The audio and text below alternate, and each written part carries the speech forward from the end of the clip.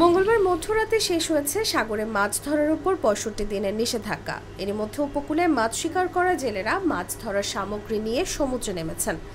তবে সমুদ্র উত্তাল থাকায় গভীর সমুদ্রের জেলেরা এখনও তীরে বসে আছেন।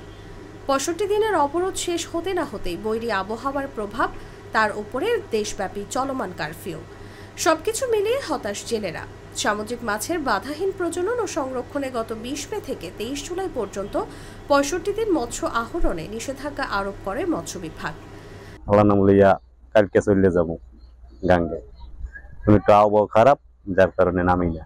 নদীর ভরসা করি যাই এখন আল্লাহ কামাই দিলে আমরা খাইতে পারব না খাই না দিলে তো আর খাইতে পারব না। তাই এই ব্যবসার উম, ধরেন এই দুইটা মাস আমাকে গাবলা তাহলে দুইটা মাস আমাকে চলতে খুবই কষ্ট হয় না?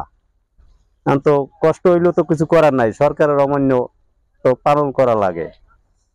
এখন মনে করেন চলে গেছে অবরোধ, এখন আমার বলার ব্যবসা বাণিজ্য, কীভাবে হয়ে নামতে পারি, কীভাবে যাইতে পারি, এখন এইটা নিয়ে চেষ্টা আছি। আল্লাহর ইচ্ছা মনে হয় যে চলে যাইতে পারব দুই একদিনে। তবে অবরোধ চলাকালীন সময় ভারতীয় ও দেশীয় প্রভাবশালী জেলেদের মাছ শিকার, অব্যাহত থাকার অভিযোগ এনে মৎস্য গবেষকরা বলছেন, আইনের অপব্যবহার মাছের প্রজনন ও সংরক্ষণে অনেকটা বাধা হয়ে দাঁড়িয়েছে। সাগর অবস্থা খারাপ, বন্যা, পনেরো দিন পর পর, দশ দিন পর পর আবহাওয়া খারাপ, এবং জেলেদের কোনো গতি নেই এখন। অবস্থা পুরো করোনা অবস্থা চলতে আছে, এভাবে চললে কেমন দিন কেটে যাইবে? মানে করোনা অবস্থা যাইতে আছে।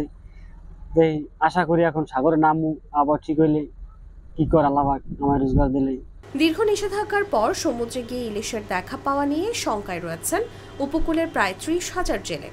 আর মৎস্য আড়তদার ও ট্রলার মালিকরা বলছেন, ঝাঁকে ঝাঁকে ইলিশ ধরা পড়বে সেই আশায় লাখ লাখ টাকা ব্যয় করে ট্রলার মেরামত ও সরঞ্জামাদি নিয়ে সমুদ্রে পাঠানোর অপেক্ষায় রয়েছেন তারা।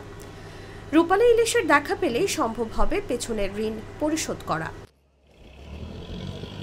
ফিন হয়ে গেছি, এই বোট চালাইতে যাইয়া ঋণ ফিন হইয়া এখন ওই জাল প্রত্যেক দৈনিক একবার করিয়া এই বোট দেখা লাগে, বোট মেরামত করা লাগে। এখন গাড়ি ওই গাড়ি আইনে বানিয়ে দিয়েছি, এতদিন অবরোধ ছিল, কিন্তু চলতে পারতে আমাকে খুবই গুরু বেড়া বাল বাচ্চা নিয়ে কষ্ট হইতেছে। যার কারণে আমাকে তো ব্যাংক ব্যালেন্স নাই যে আমরা দুই টাকা আয় রোজগার করিয়া এরপর যে আমরা সংসার চালামো। কিন্তু ঋণ করছি, ঋণের যে দশ টাকা, আমার দাঁড়িয়ে ধার নিছি, ধারের টাকাটাও আমরা এখন পর্যন্ত দিতে পারিনি। কারণ জাল শুধু গুছাইয়া মানুষগুলো এই নাম অনেক মানুষ আমাকে এই বোট ঘাটে আর কারণ হয়েছে অনেক মানুষ আমাকে ঢাকা গেছে গেছে চললে কি লিগা মানুষ সাগর নলে এই না নামতে পারলে আর কি করবে? এই অবস্থায় এখন আমরা এই বরফ করে লাগাইছি দেখি আল্লাহ যদি অবরোধটা যায়, মানুষজন লইয়ে মিলিয়ে জেলে আর কি।